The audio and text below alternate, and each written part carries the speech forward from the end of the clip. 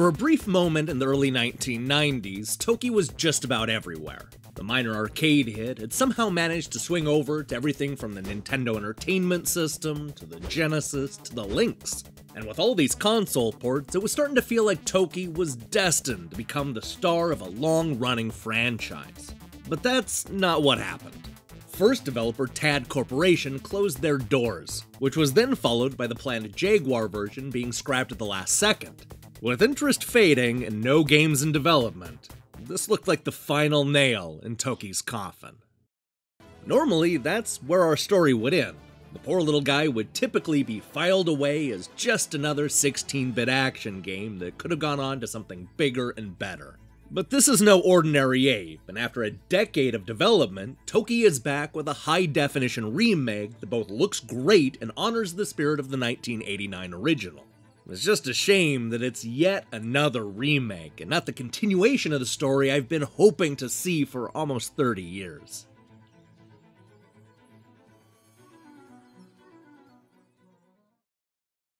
Now, a lot of this is going to sound awfully familiar if you've played the 16 bit original. This is the story of a young warrior who is forced to travel across the prehistoric landscape in order to rescue his sweetheart, Miho, from the heinous demon Bashtar. As if that wasn't bad enough, Toki has been magically turned into an ape by a voodoo sorcerer. Now our hero not only has to fight against the odds to rescue the love of his life, but he'll also need to find a way to break the curse. As an ape, Toki is able to jump around and spit out deadly attacks. He'll occasionally need to swim through the water and swing from vines, but most of the time he's either jumping, spitting, or both. Along the way, he'll pick up a number of special attacks, such as blowing flames and spitting a spread shot. There are also new shoes that'll let him jump higher and a football helmet that'll keep him safe. Toki isn't the most agile monkey, but he has just enough moves to fight his way to defeat Bashtar. Much like the arcade original, the game is split up into six different stages. Toki does a good job at keeping things fresh with different backgrounds and obstacles, so expect to platform your way through ice stages, a fiery cave level, and a whole bunch of jungle settings. We're also given a bunch of lives and continues, as well as friendly checkpoints, so most players will have no trouble completing the incredibly short journey in a single sitting. Now, as a remake, Toki looks outstanding. The character is big and detailed, and the world he explores is equally impressive. It's easy to get jaded by HD graphics, but the hand-drawn look is easily the best part of this game. I was less interested in saving Miho than simply marveling at the busy backgrounds and cool-looking bosses. It's obvious that a lot of time and effort went into remaking this arcade classic, and I'd say that even if I didn't know that they spent nearly a decade developing this version. At its best, this is a faithful and loving tribute to the 1989 original. Unfortunately, this Toki remaster suffers from a lot of the same problems that plagued the earlier versions. As an ape, our hero is stiff and doesn't have a whole lot of moves. With the possible exception of spitting fireballs, there's really nothing Toki can do as an ape that he wouldn't have been able to do as a human. In fact, he may actually be at a huge disadvantage since he has this giant ape head that makes it even easier to get hit. And you're gonna get hit a lot because this game is filled with annoying cheap deaths. The hope is that you'll want to replay these levels to the point of memorizing all of the obstacles, but I'm not sure how many people will want to keep playing after that initial run. It's also a little disappointing that Toki dies from a single hit.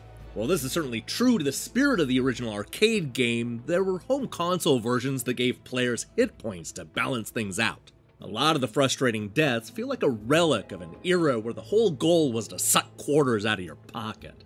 Speaking of which, Toki is far too expensive at $30. Yes, it looks good and is a loving tribute to the original, but that price is absurd. The initial play took me about an hour to complete, which I have to assume will be even quicker once you've gone through the game more than once. And will you even want to play through the game more than once?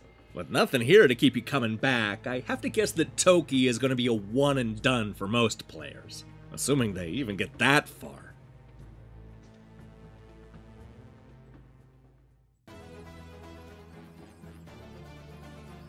As a remake, Toki gets almost everything right. It looks great, feels like the arcade original, and brings the fire-spitting ape into the 21st century.